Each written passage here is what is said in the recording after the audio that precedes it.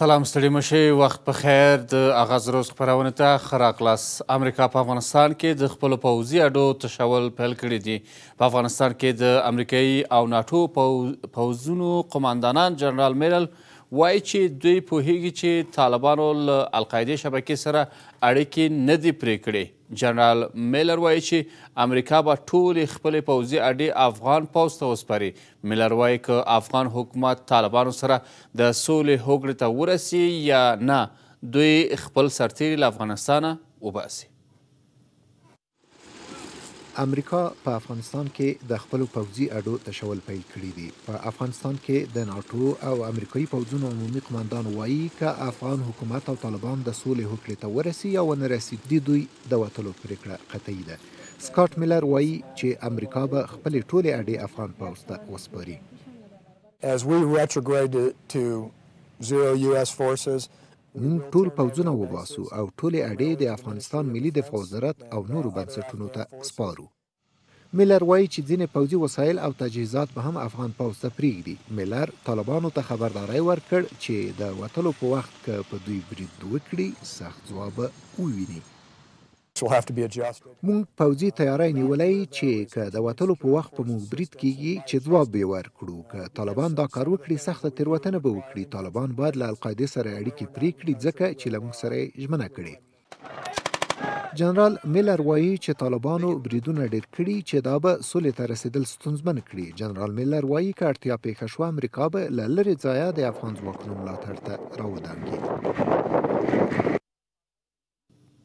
تم کېږو په همدې موضوع باندې باس او خبره اترې کوو راسره باس کې مېلمانه هاري او حکمت الله حکمت سیاسي فعال له سویډن څخه او همدارنګه ولي فروزان له کاناډا څخه راسره په خپرونه کې مېلمانه دي دواړو ته ښه راغلاست وو پیل د ښاغلي فروزان څخه کوو ښاغلی فروزان دغه وروستۍ خبره د جنرال میلر په افغانستان کې د امریکایي ځواکونو عمومي قماندان دا خبره کړې چې که د افغانستان حکومت او طالبان سولې ته سره ورسی یا ونه رسی دوی خپل پوځونه له افغانستان څخه وباسي فکر نه کوي چې دا ډول پریکړې د افغانستان په تړاو باندې کاغه امریکا او که ناټوی ډیره معقولانه نه ده سلام محترم جلیل صاحب سلام تاسو ته محترم حکمت صاحب ته او د آریانا تلویزیون محترم لیدونکو ته خب این فیصله است که رئیس جمهور امریکا دو هفته قبل اعلان کرد که خروجشان بدون قید شرط است به مو ارتباط قماندان نیروهای امریکایی در افغانستان امو فیصله آقای بایدن نکاس میده یعنی دا ډول پریکړې د افغانستان په تړاو باندې د افغان خپل دیو ته امریکا او متحدینو ته خطر نشي پیښولی د دې ترڅنګ وایي چې خپل دوی پوهیږي چې طالبانو له القاعده شبکې سره اړیکې نه دي پرې کړي اما دیو د افغانستان څخه د بشپړو وتو خبره کوي خب امریکایا تمام تلاش خود کردن در افغانستان که در اینجا یک حکومت نو بسازن همو سیستم دموکراسی که خودشان بلد بودن و میفهمیدن در اینجا او را عملی بسازن برای کسایی که نظام تشکیل دادن در افغانستان اینا خیانت کردن به فساد دست دادن پولا را به غارت بردن بقیه مردم ما هم به علیشان جنگ کردن و اینا را کشتن تمام تلاش های خود کردن که اگر از رای یک رای حل سیاسی پیدا شود از وقت آقای اوباما چندین بار یا نیروهای خود کم کردن و مجبور شدن پس زیاد کنن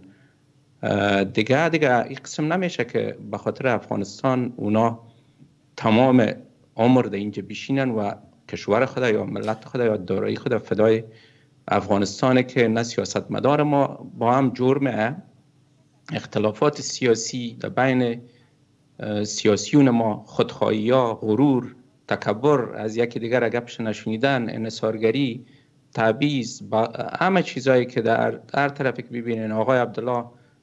از افغانستان در انتخابات یک چیز مسخره جور کرد دو حکومت اعلان شد شما میبینید که سیاسیون ما امی سیاسیون داخل نظام امی نیروهای امریکایی اگر نمی بود یا بار بار امو دوران تنظیم ها وری بین خود می جنگیدن و اشاره را خراب میکردن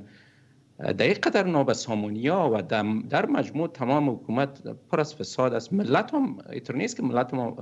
ملامت نباشه شما از دوران بسیار سابق اگر ده افغانی یک پیاده را نمیداد این عریضه شما را در دموری مامور نمیداد تنها حکومت در این نیست حکومت از ملت جور میشه همگی ما شما در این ملامتی داریم در ناکامی در ناکامی ملت خود در ناکامی نظام در ناکامی خارجی ها و در ناکامی خود یعنی فکر نمیکنید که باز, باز هم به گفته شما به سوی یک ناکامی روان هستیم که منجر به جنگ های داخلی خواهد شد احتمال جنگ های داخلی چقدر است آقای فروزان ببینید ملت که اتفاق نداشته باشه به این جای نمیرسه ملت که ماتل کمک های خارجی را عق خود بدانه او به جای نمیرسه کشورهایی که به جای رسیده او مالیه دادن تکس دادن کشور خود آباد کردن ما دینمی کانادا هستیم آقای حکمت در سویدن است اینا مالیه میتن شفاخانه ها کسی برای از کشورها کمک نمیکنه ما و شما نواقص بسیار جدی داریم در کشور خود در بین سیاسیون خود خصوصا فساد اداری به اتفاقی این سبب از این شده که امروز طالبا با وجودی که یک گروه نیابتی هستند اما تانستن که سرباز بگیره و بر مردم در, در قراو قصبات افغانستان میگن که امی کشور امی حکومت مفسد شما در پالیش استاد میشین خو طبعا میگن نی شما در اگر دعوای زمین داشته باشین خب آقای فرزان اگر ای, ای طرف حکومت مفسد آن طرف طالبا چی؟ طالبا از, از رای خشونت از رای کشتار مردم از رای قتل مردم خواستای سیاسی خود برآورده میسازه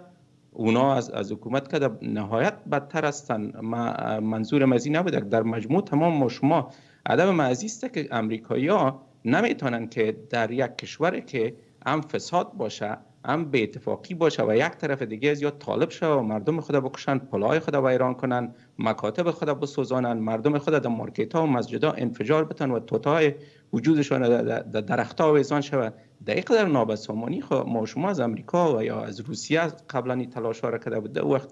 هم اونا هم 50 سال در افغانستان یک سرمایه گذاری کردن درست است که خواستای از یا مطابق میل افغان ها نبود کمونیسم افغان ها خوش نداشت راهایی که روسا ها در طریق سیستم را کارده بودن اما اونا هم در اینجا بسیار سرمایه گذاری کردن این بندای برق ما شما فارم اده فارم غازی آباد کانال جلال آباد بند درنته بین بند نقلو بند مای پر رای مای پر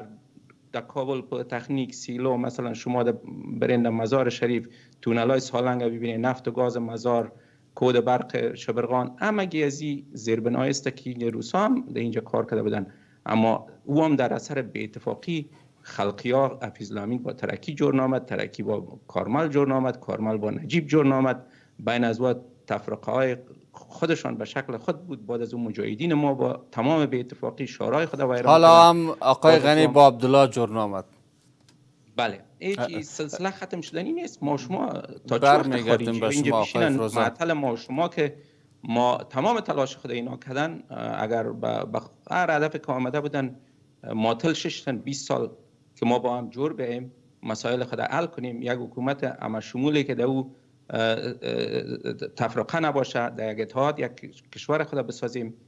ایره ما نکدیم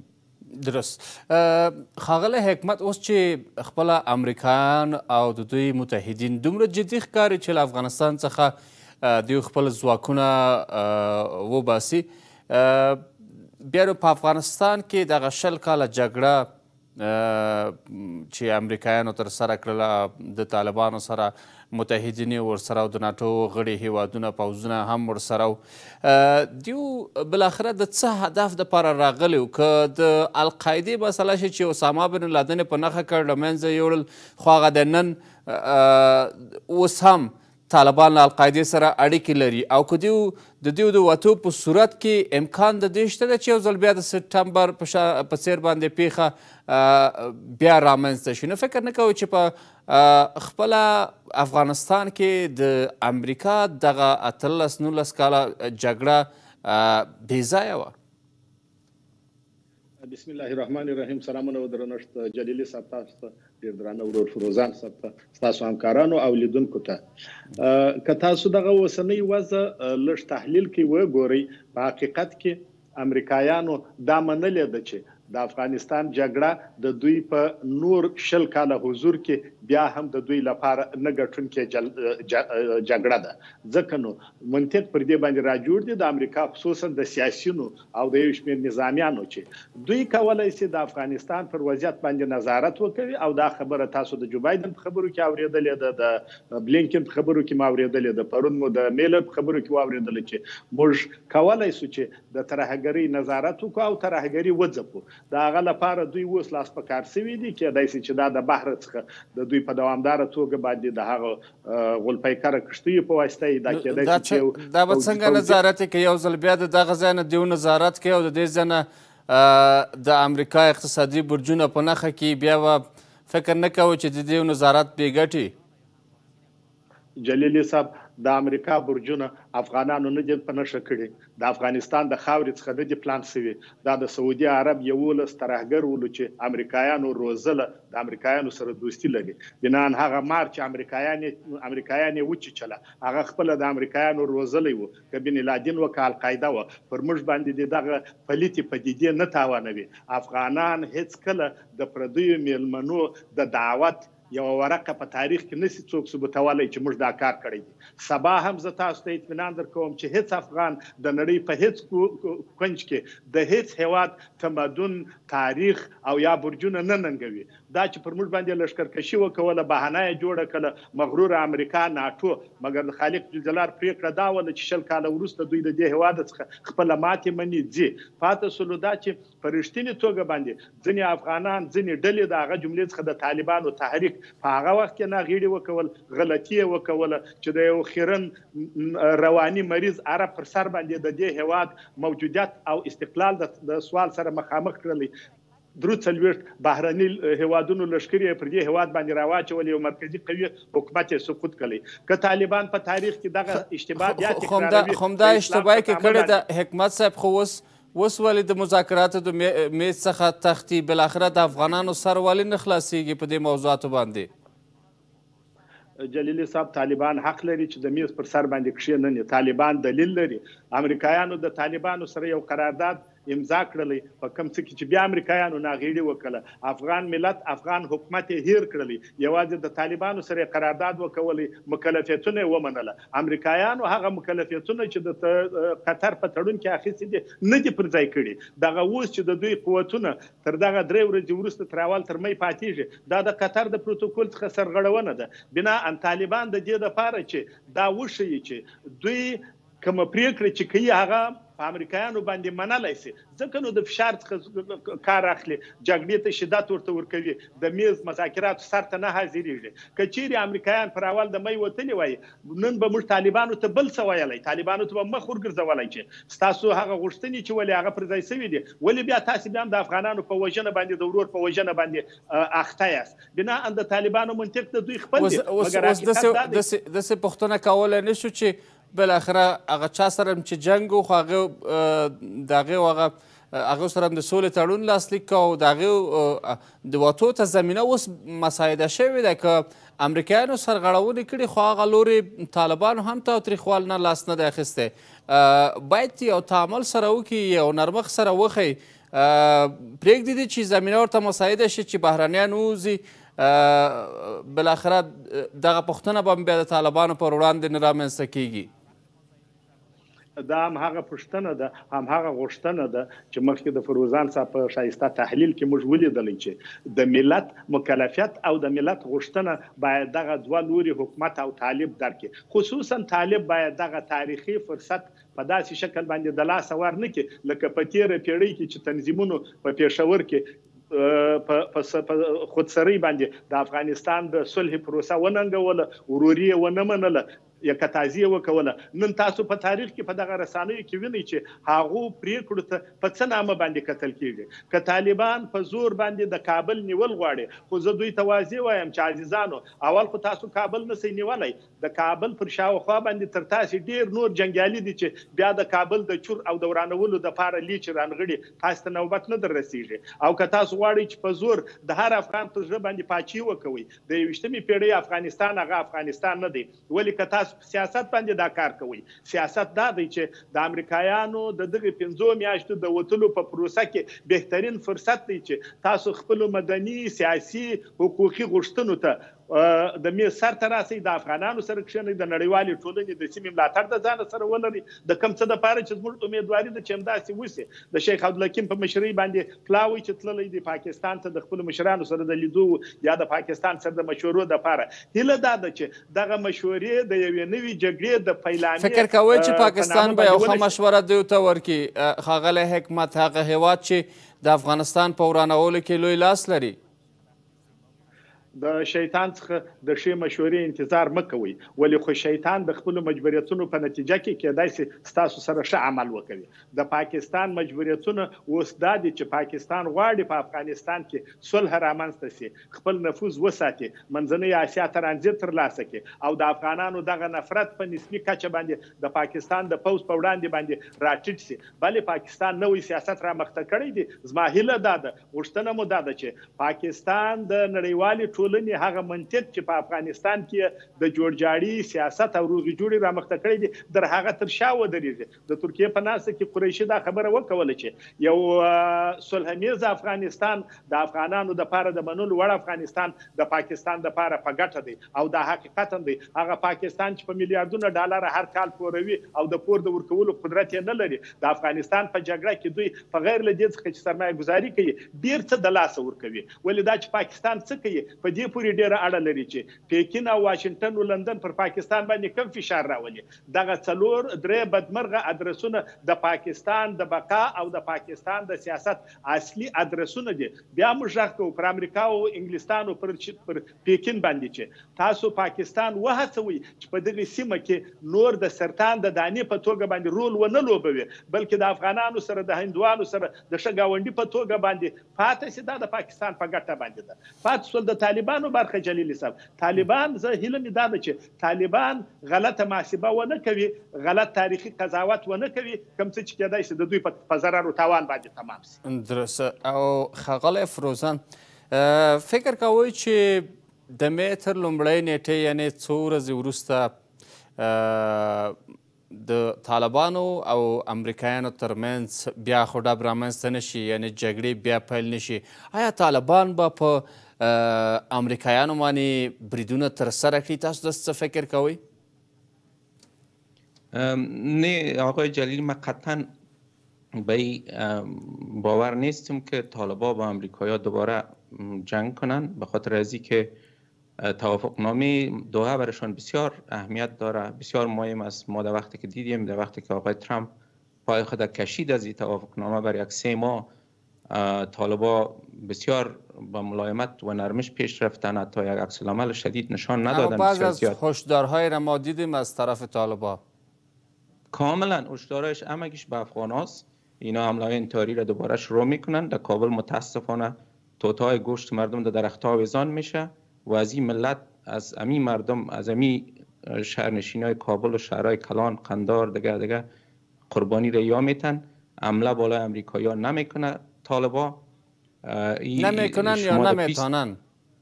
نمیتونن نه جرأت دارن شما در دوران روسان ورتان یک قصه کنم یک شب میرفتم جلال آباد در سرخکان اینجا جنگ شروع شد ما تا صبح ماندیم بین مجاهدین و پلیس پسته دو سرکه لغمان جنگ بود صبح طرف های هفتونیم بجه دو دانه اسکر روسی روتای سیلو در دستشان بود تیر شدن از سرک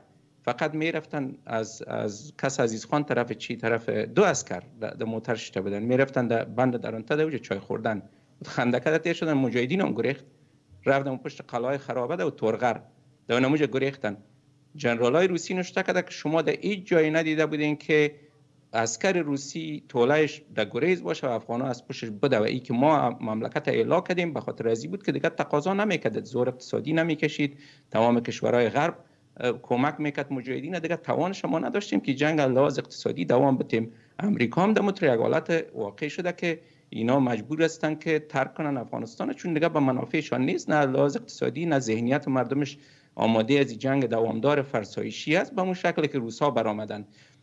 در مو وقت هم ما درست است که روسا را کشیدیم اما اینطور نبوده که روسا را ما دوانده باشیم و گریخته باشند روسا هم منافع خود ندیدن آقای گرباچوف آمد ایره تجدید نظر کرد راجع به جنگ دید که منافع کشورش نیست از لحاظ اقتصادی بسیار به یک حالت خراب قرار داشتن لحاظ سیاسی هم دو سال بعدش دیدیم که از هم پاشید اتحاد جماهیر شوروی یا امریکا هم در امو تریگالت گرچه از یار فروپاشیدنشان احتمالش نیست اما از لحاظ اقتصادی از لحاظ ذهنیت مردم دیگه دیدن که در 20 سال جنگ چی نیست شما در 20 سال 2400 تلفات داره امریکا در مجموع ای هیچ چیز نیست در مقایسه 20 سال جنگ در مقابل از این چقدر افغان کشته شده این معلوم میشه شما در, در, در هیچ جای ندیدین که اقدر این طالبا یا در دوران خب اگر مجاهدین بالای باز هم خارجی ها اه، جنگ میان حکومت و طالبان شدت بگیره یعنی به امریکا هیچ تفاوت نمیکنه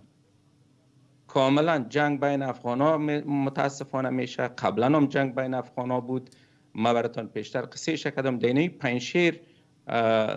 د سالنګ مثلا د دوران آقای نجیب و کارمل روسا می آمدن در پلوی مجاهدین اینجا عکس می گرفتن اما پلیس افغان اسکر افغان که از پستی خود در دگه جای می رفت می زدن کمی استاد می شد که موترش در می دادن می زدن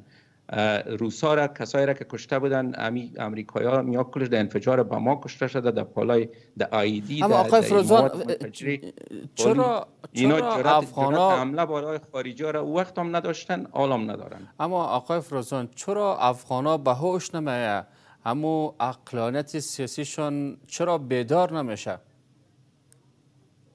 خب ما به خاطر که غلط فهمی نشه ما امو وقت هم ببینین امریکایی کشته شده کل در اثر انفجار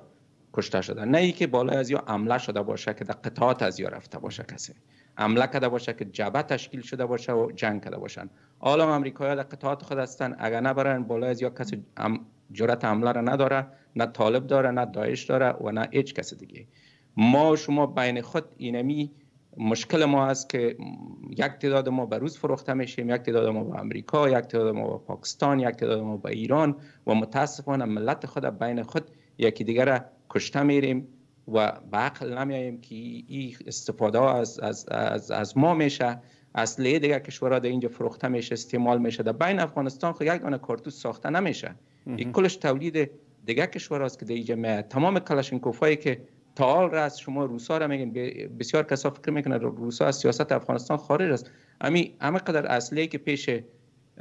طالبا است اکثر از کلاشینکوف است کلاشینکوف روسی سه مرمی از از از کجا میه در افغانستان خود تولید نمیشه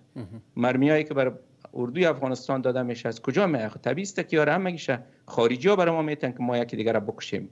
و در این زمان به خاطر منافع خود اگر هند است اینجا به خاطر نفوس خود به علیه پاکستان کار میکنه که تا که اینجا نفوس داشته باشه از ما استفاده میکنه پاکستان خو همگی ما شما میفهمیم که گروه بزرگ نیابتی در وقتش از مجاهدین ښاغلی فروزان اوس دا چې امریکایي ځواکونه خپل اډې افغان ځواکونو ته سپاري پوښتنه دلته دا ده چې ولې هغه تجهیزات چې دیو لړې لري افغان ځواکونو ته نه سپاري پرمختللي تجهیزات ورسره شته دی ځینې پاکستان ته یې وړل ځینې نور هم له ځان سره وړي، ځینې نور هم له منځه وړي، اما افغان ځواکونو ته هغه څه چې دوی سره دي او د افغان ځواکونو ته په جګړه کې په کار دي هغه دوی ته نه تسلیموي. د دې راز په څه کې دی؟ خلکو سره دا پوښتنه ډېره مطرح کېږي.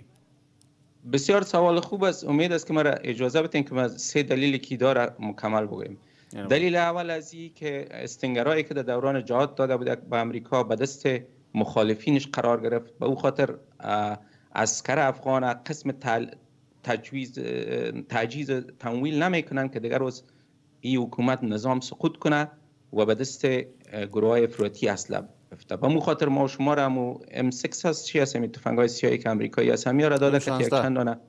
تیاره که از از تا که از کابل پرواز میکنه در مزار یک ساعت یک و نیم ساعت میگیره و توپچی هم ما را نداده که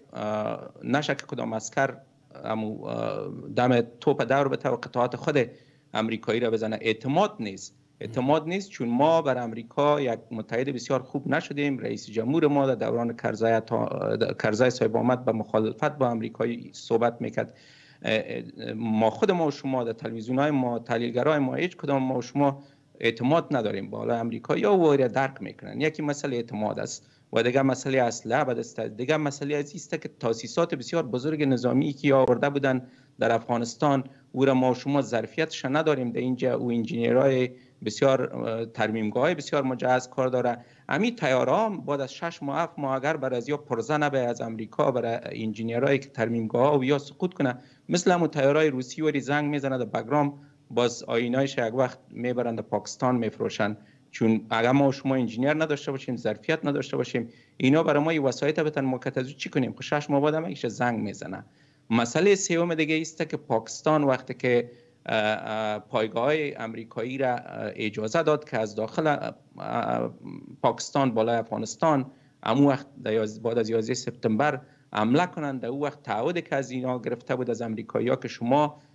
نظام اردوی افغانستان تا ای حد باید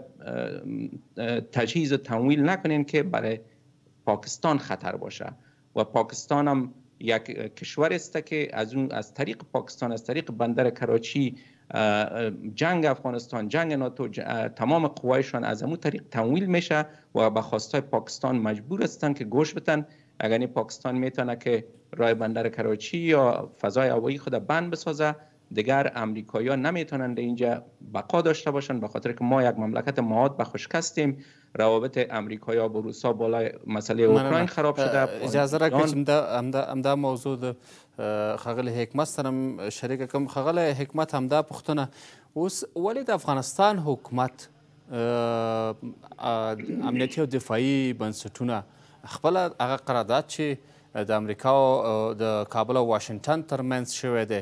امنیتي تړون د دې پر اساس باندې یا د دې نه بهر د همکاریو پر بنسټ باندې ولې له امریکا څخه د پوځي تجهیزاتو د اخیستو خبره نه کوي ترڅو که د طالبانو پر ضد نه بلکې د خپل امنیتي او دفاعي بنسټونو د پیاوړتیا په خاطر باندې دغه وسلې افغان ځواکونو ته ورکړي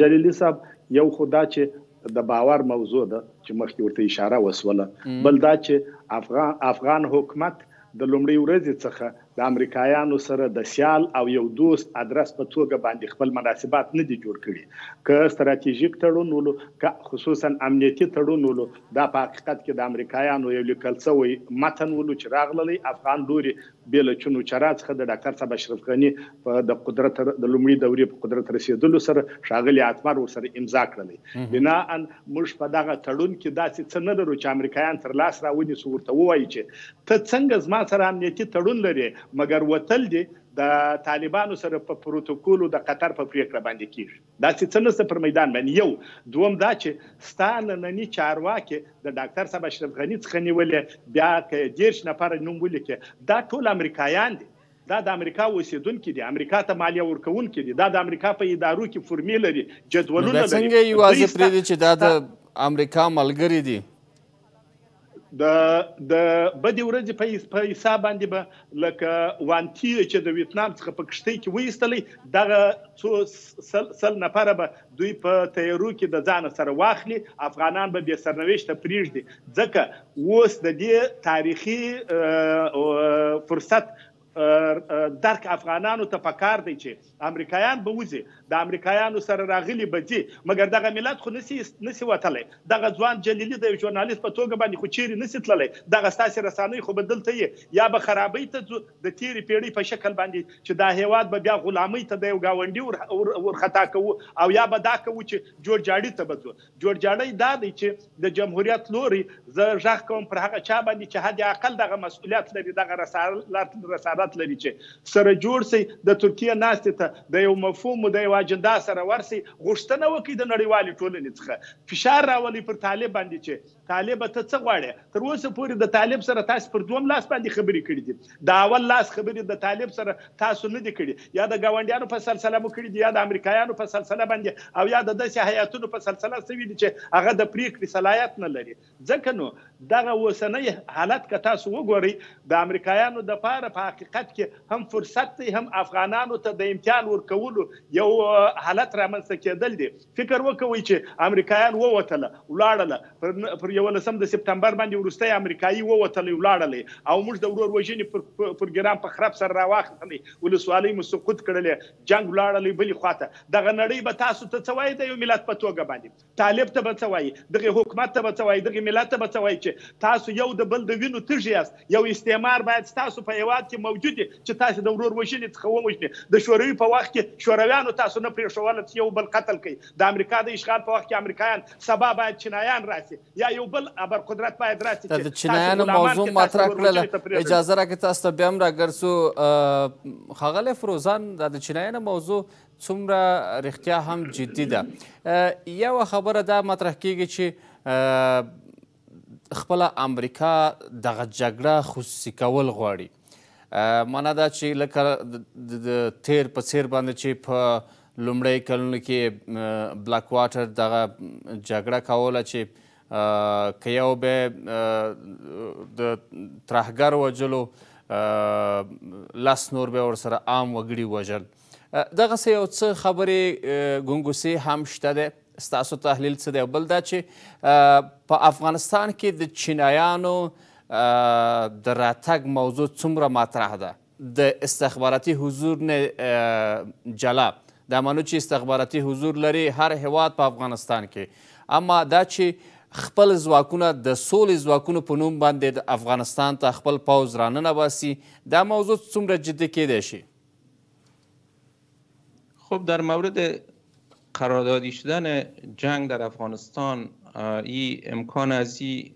پیش از ای اعلان آقای بایدن موجود بود به خاطر از ای که در دوران اوباما همینطور زیاد قراردادی ها را زیاد ساخت اوباما مثلا جنگای در درون اتاک بسیار زیاد ساخت حملای تیارای بی, بی پیلوت بالای تکنولوژی جنگ زیاد سرمایه گذاری کردن توقع همیتر می رفته که بایدن هم هموتر یک کار کنه مشابه به مشاید به یک پیمانه کوچکتر چون شرایط چه زمان فرق میکنه و ذهنیت جنگ به او شکل که سابق وجود داشت حال دیگه وجود نداره بین امریکا یا دوام جنگ در افغانستان اما او قسم نکرد آقای بایدن دیگه حال در افغانستان قرادادیایی که داره همیا قطعات است که از توسط خود سیایی اینا تمویل و تجهیز شدن تربیه شدن ماشون از طریق داده میشه مثلا خوست پروتکشن فورس از قندار از تریکینگ فورس از 001 از 002 003 یا قطعات است که از طریق خود سیایی تمویل تجهیز قمنده میشن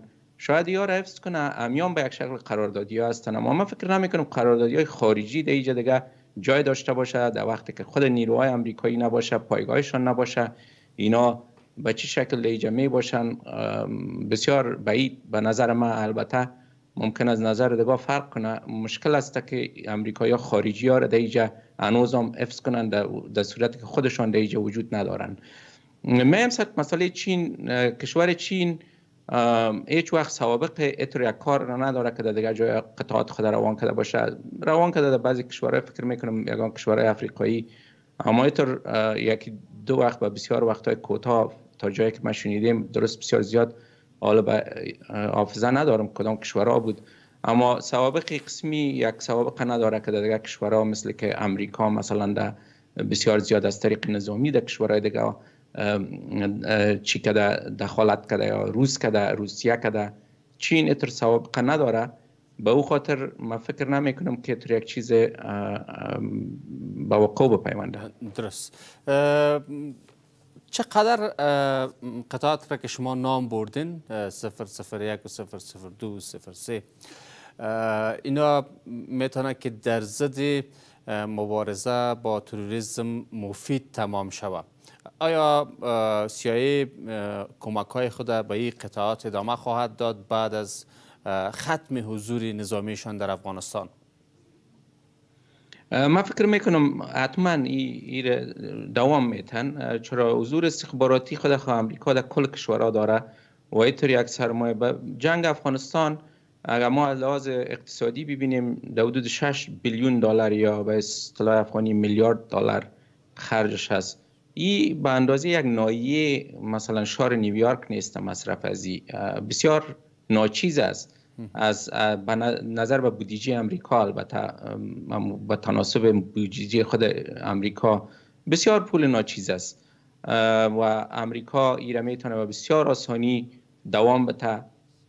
قراردادی هایی که داره همی قراردادی های افغانی که وجود است موجود است ایره در کشورهای دیگه هم کده و تمام نظامی تمام کشورهای همسایه ما میکنه ایران هم همین قسم پول میته یک تعداد خریده و خود پاکستان هم پول میته پول مصرف میکنه در اینجا خریده یک تعداد افغان ها را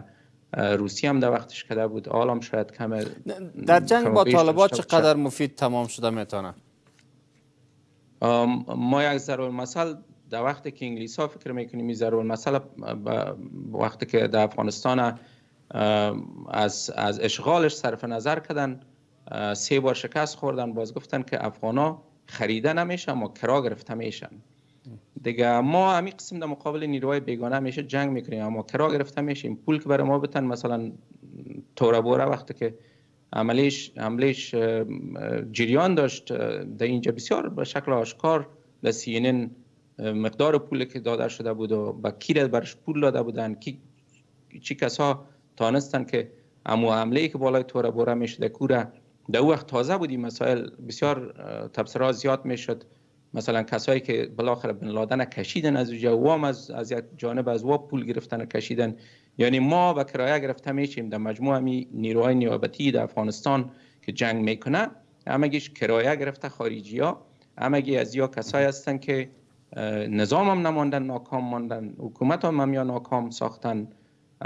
و در مجموع خود ما هم ناکام هستیم به خاطر از اینکه فروخته شده به شما آقای فوزان به خاطر جنبندی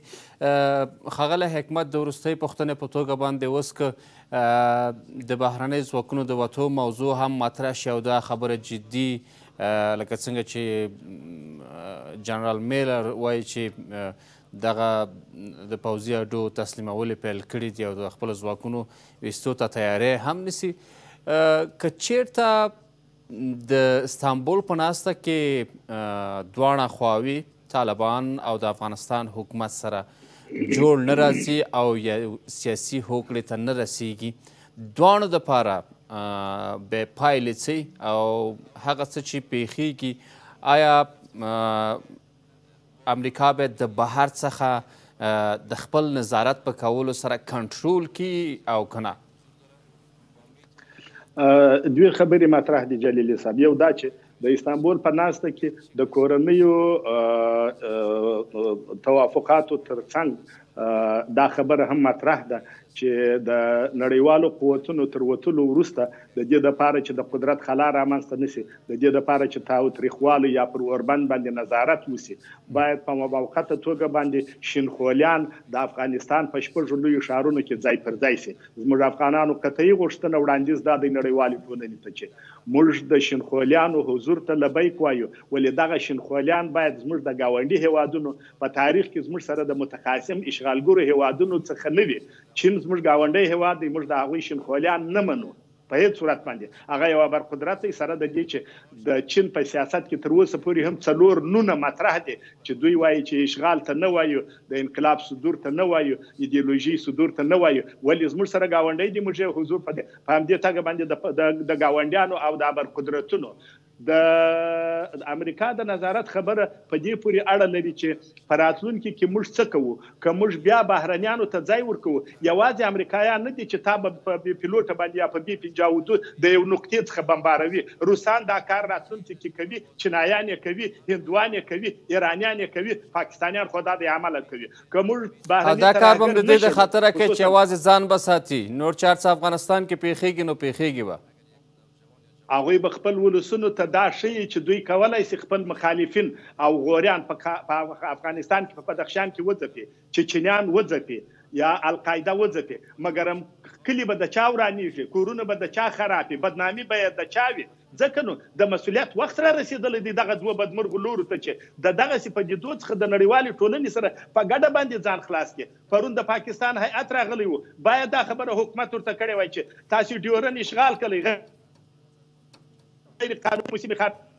اجازه راکړئ چې په ډیورن باندې د ترهګرو نظارت په ګډه باندې وڅارو، نه داسې چې تاسو د شپې دروازه خلاصوئ، په لسګونو په سلګونو ترهګر افغانستان ته رالیږئ، بیا وایاست چې دا د افغانستان میلمانه دي، په داسې حال کې چې دا د پاکستان د پوځ د کمپونو څخه راوځي موږ په خبر يو ادرسونه يې راته معلوم دي پښتانه نارې وهي منظور پښتون نارې وهي مګر څوک ورته وايي دغه غلام نوکر حکومت د دغې صلاحيت نه لري چې امريکا ته ملل متحد ته نړيوالې ټولنې ته يا پاکستان ته دغه شکايت وکړي دغه اعتراض وکړي.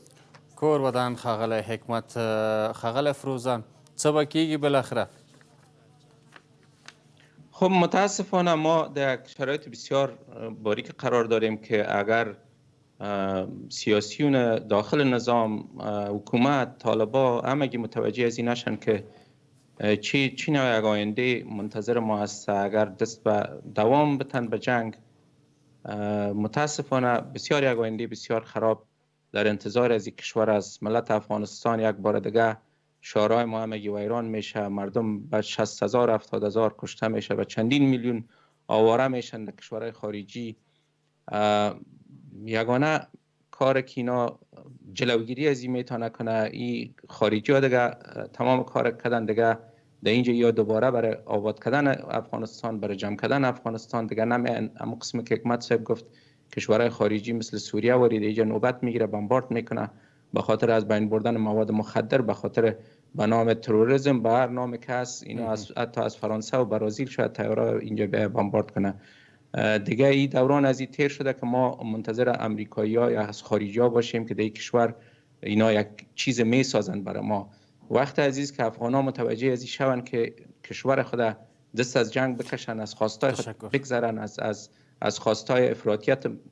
که افراتیش از افراتیت خود بگذره